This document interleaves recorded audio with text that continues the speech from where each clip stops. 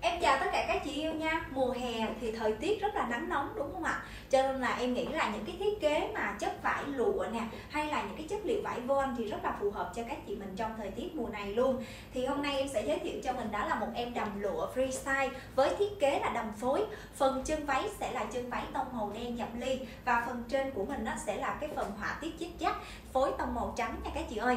Áo phần trên sẽ là áo cổ tròn, tay dài Và có bạc bếp lưng ở phía dưới như thế này cực kỳ sang trọng và cực kỳ tiểu thư luôn. Mẫu này thì nó là free size rồi, cho nên các chị nhà mình từ khoảng tầm 45 50 kg cho tới là khoảng tầm 80 kg mình mặc vừa cho em luôn nhé.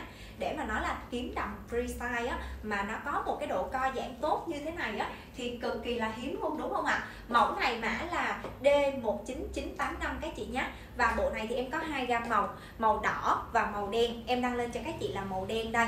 Mặt trước của mình sẽ có kết nút ngọc trai. Toàn bộ sẽ được chạy viền như thế này các chị ha. Cái phần chạy viền nó cũng làm cho cái ờ, cái áo của mình á, nhìn nó tăng thêm cái điểm nhấn hơn. Và với chất liệu vải lụa thì mặc cực kỳ là mát và cực kỳ là nhẹ luôn. Mẫu này chỉ may một lớp, không may lót các chị nha. Phần chân váy là chân váy dập ly, form xòe dáng dài chiều dài 120 chị nào mình dáng cao thì có thể tham khảo cho em mẫu này nhé. Và đặc biệt là các chị mà tròn người, mặc size lớn thì cũng có thể tham khảo mẫu này cho em luôn. Cái này thì nó có độ co giãn, nó fit theo cái số đo của mình luôn, nên các chị không có lo rộng chật nha. Chị nào đặt thì để lại cho em số điện thoại nè, kèm theo mã sản phẩm để bên em chốt đơn sớm cho mình ha.